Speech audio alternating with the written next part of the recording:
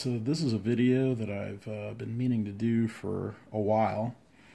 Um, over the years, I've uh, amassed a little bit of a Blaser collection of tactical rifles, and I thought I'd do a series that explains the differences and the parts interchangeabilities between the different uh, generations of Blaser tactical rifles.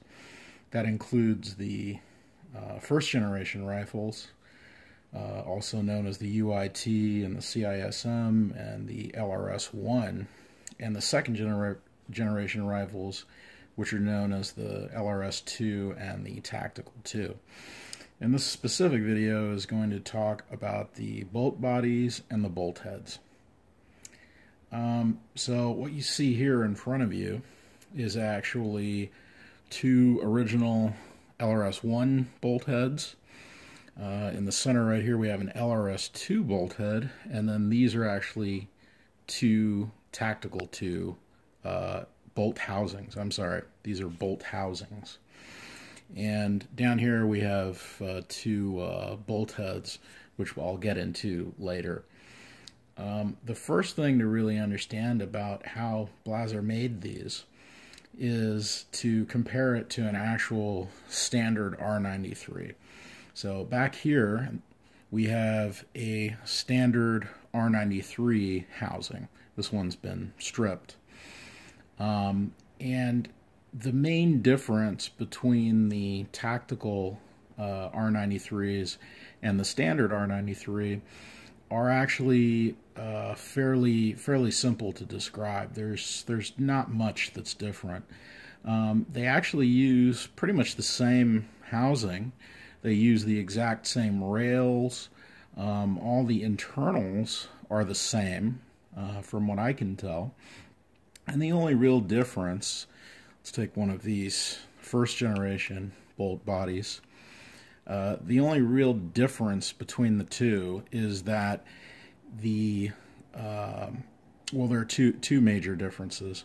One is that there is a plastic uh, spacer that runs all the way uh, up the sides that sandwiches in between the rails and the uh, actual housing and they're actually made out of plastic. They're made out of the same kind of uh, Blaser kind of Glock polymer. It's kind of like a Glock polymer, is the way I usually describe it.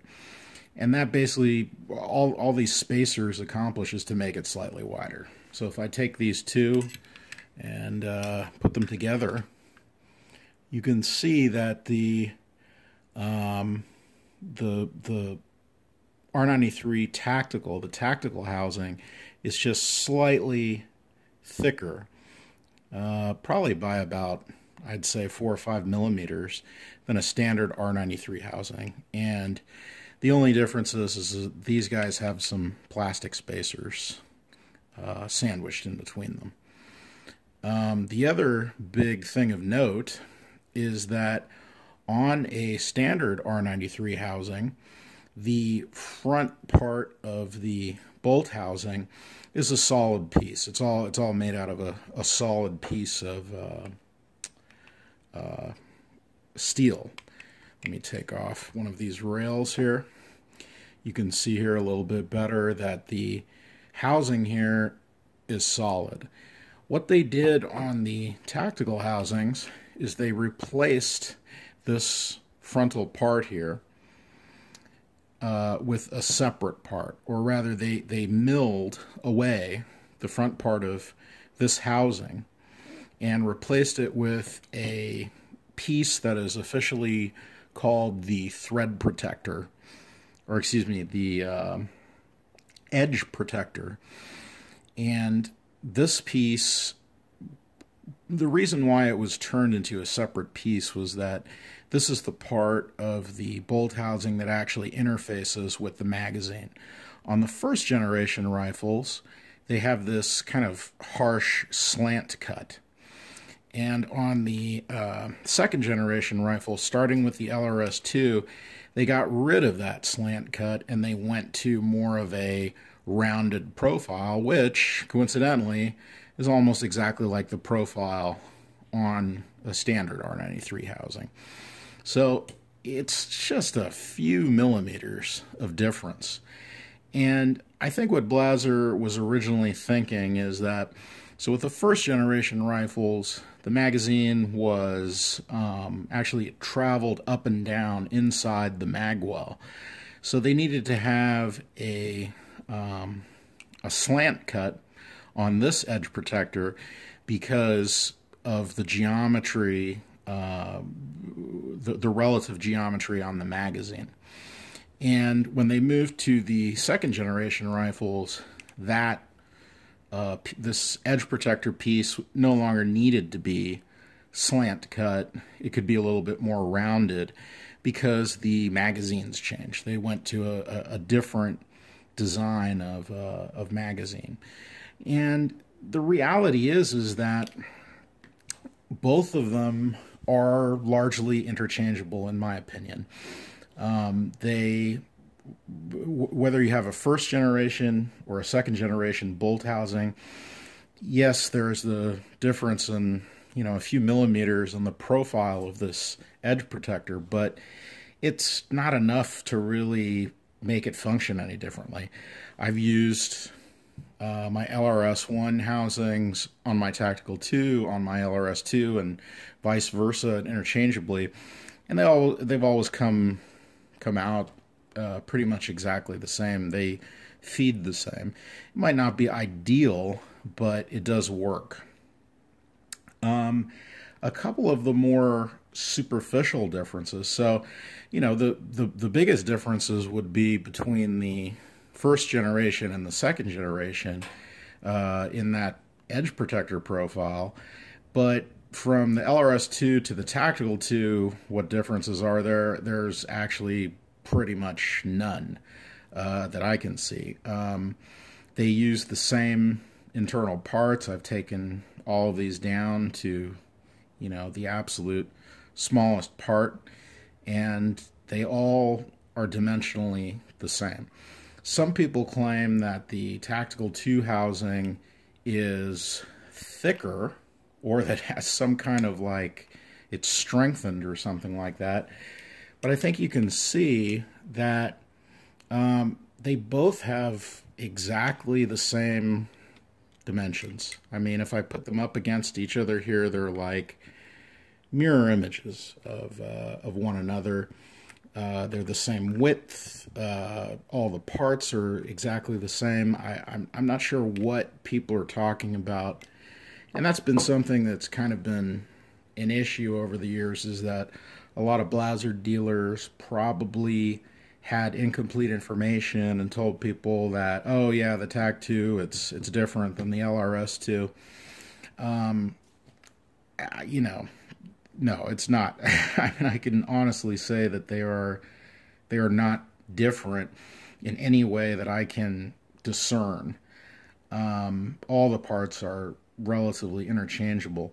If you want to get very, very technical, the major difference that I can see um, across all of them would be the bolt handle, obviously, or not not the bolt handle, but the bolt knob are different profiles. The Tactical 2 had a kind of a very teardrop shape.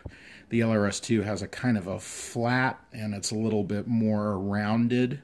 And then, of course, the first generation handles are this kind of like very conical shape. And they were made of plastic, and then the LRS 2 and the Tactical 2 bolt knobs are made out of metal but they're all interchangeable too. I mean, they're just bolt knobs. They're just standard M6 thread. Uh, you can thread up anything, and you can actually put a standard R93 round uh, bolt knob if if you want to. There's there's no difference.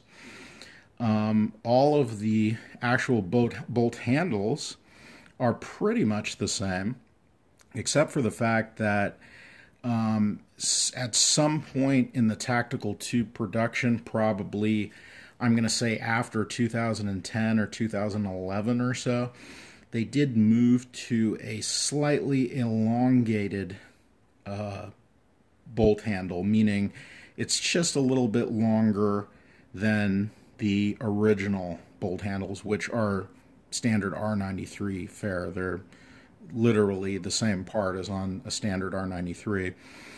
I don't know why Blaser did this. I mean, it's just maybe, again, three or four millimeters of difference. Maybe they just wanted to have the bolt handle stick out a little bit further for a little bit more clearance. But even so, these are actually interchangeable with the older style of bolt handle because in, internally they're exactly the same. The dimensions are all exactly the same.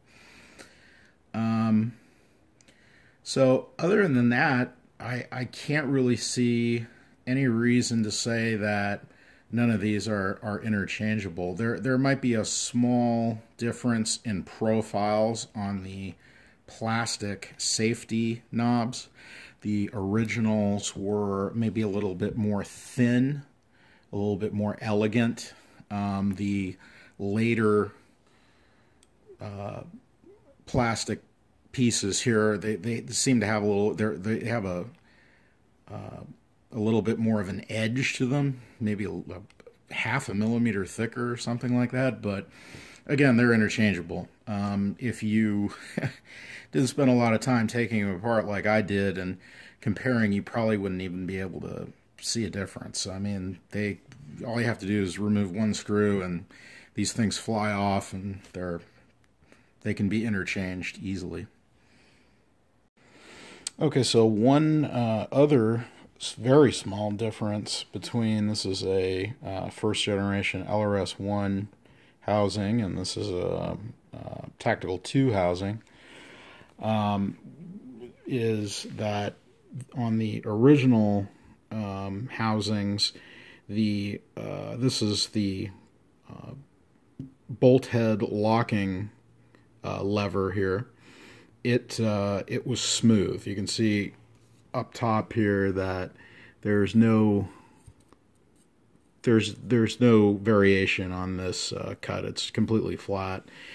Um, Blaser did make the design a lot better because trying to get this uh, uh, locking lever to come out sometimes is a real pain. You have to get like a, a tweezers or a very thin uh, screwdriver and kind of wedge it in there and get it out. It's very difficult to get it out just with like your fingernails. On the uh, starting on the LRS2, they put these two little notches on this uh, lever, and that really makes uh, a big difference. I would imagine they did that with all R93s at some point. There's just two little teeth, so it's a lot easier to just take your finger and flick it open like that. Whereas it's it's almost impossible. You can't really do it on the on the first generation uh, housings.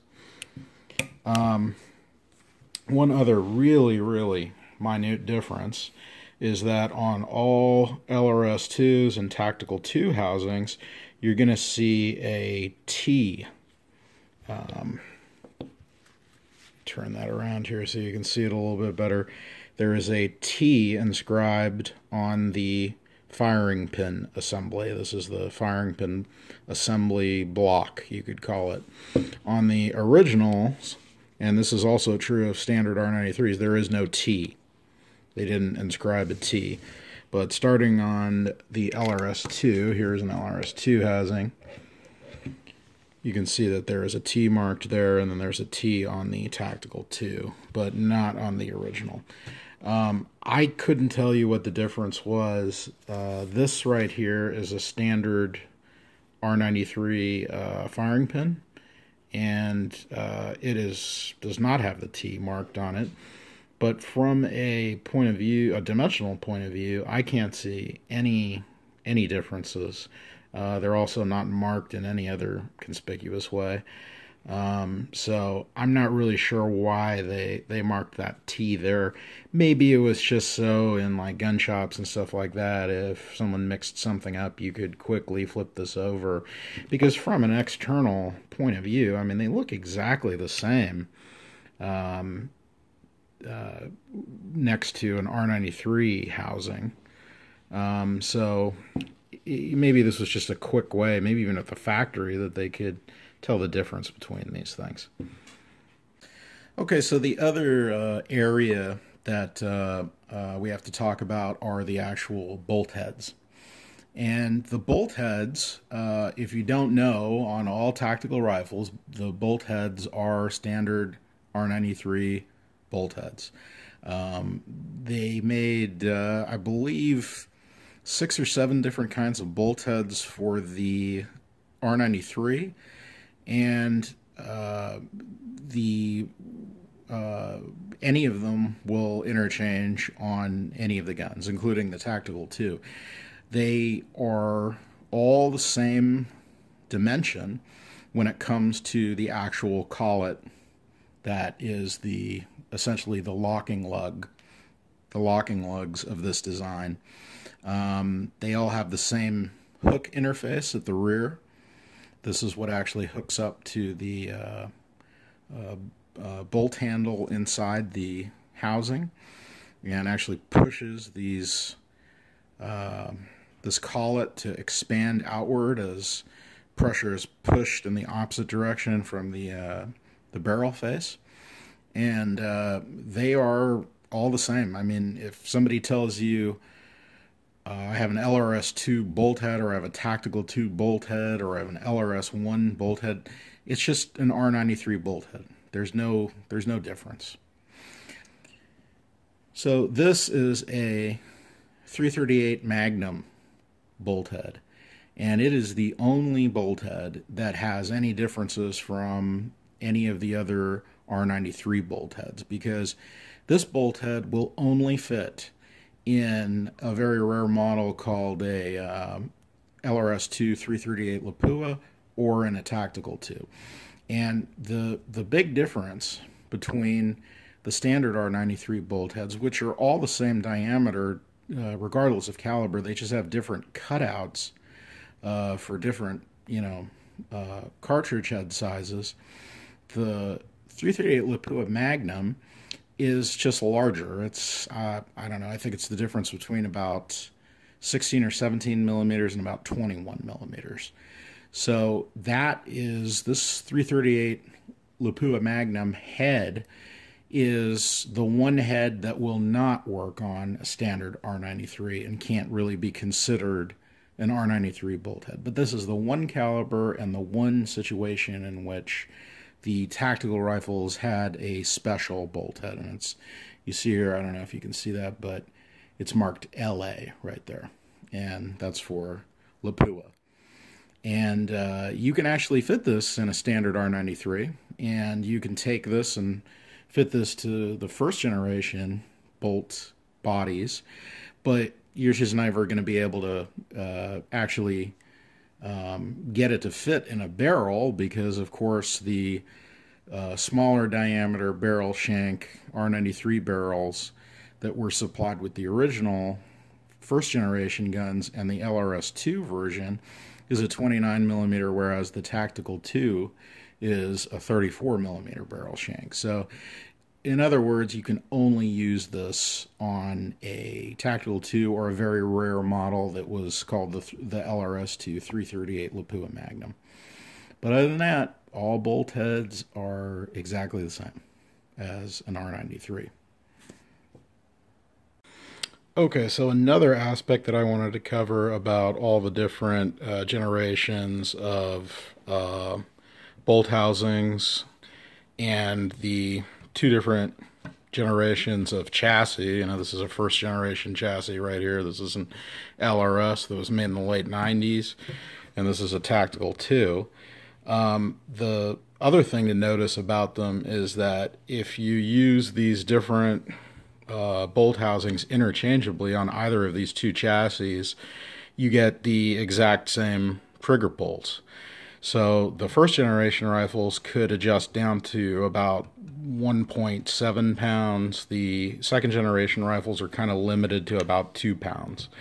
And if there was anything really internally going on differently here, like it had different springs or something, you know, there was some kind of uh, uh, difference in metallurgy or something like that, then what I would expect to see is if I say used a first generation uh, housing on a second generation rifle and I pulled the trigger that I would get different pull weights. but that's not the case. The trigger pack sets the pull weight value. And if I use a first generation bolt housing on a second generation rifle, I get a two pound trigger pull. If I use a Tactical 2 bolt housing or an LRS 2 bolt housing on an original uh, LRS, a first generation rifle, I get 1.7 pounds. So that is another clue that tells me that these are all identical. Um, another issue would be the actual uh, bolt heads using different 308 bolt heads over the years. I have multiple 308s. Um, and I've put them interchangeably in all of these different housings and run them through uh, the different chassis. Uh, I don't get any appreciable change in accuracy or precision comparing the uh, different bolt heads. So all Blaser bolt heads are the same. I mean, maybe you have one that's really, really worn down, and in that case, you might get slightly different results. But if I use a 308 bolt head, let's say in my this is a Tactical 2 chassis, and I uh, uh, I uh, shoot it in 308 then I take another 308 bolt head that's in the same condition and I shoot it. I don't get any differences in point of aim or point of impact. So Blaser R93 bolt heads are essentially, other than the general comparable condition, they're all exactly the same. Uh, the barrels, you know, they have different uh, uh, qualities because, of course, you know, no barrel is cut exactly the same. So if I were to take, uh, you know, a three-way barrel and uh, from say my LRS2 and then run it on my uh, LRS1, yeah, then I see a difference. But there's no difference in the actual bolt heads. All right, so um, you know this is maybe the first time, at least I've ever seen all the generations of bolt heads lined up and compared. So hopefully this video helped to dispel some of the uh, concepts out there that these are somehow different. Um, they are different, but in very, very minor ways. And the important thing to remember is that the biggest difference is the edge protector, which is, you know, this small piece right up at the front here. They're basically just two different profiles. And honestly, they don't really make that much of a difference when you're feeding. Um, I've used these uh, interchangeably for a couple of years now, and uh, I don't see any evidence to suggest that they are made differently or that they have different internal parts or they're capable of doing different things. They're all basically the same. So that's just my two cents worth. I don't know why um, the standard internet knowledge if you go on some forums and stuff like that, it's usually, oh, you know, they're no, they're different. This one's bigger than that one, and this was, you know, it's it's just not true.